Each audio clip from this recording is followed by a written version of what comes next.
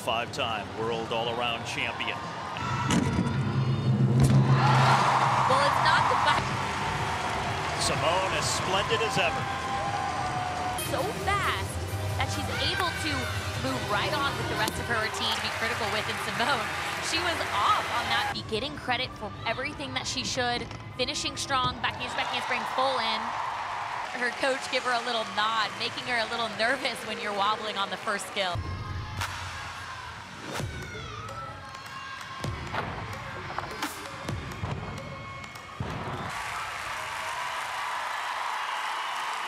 I know my parents had a heart attack